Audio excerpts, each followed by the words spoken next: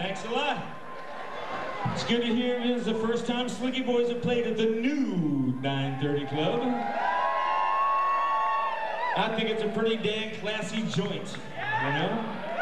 I kind of like this place, all right? I'll drink to that.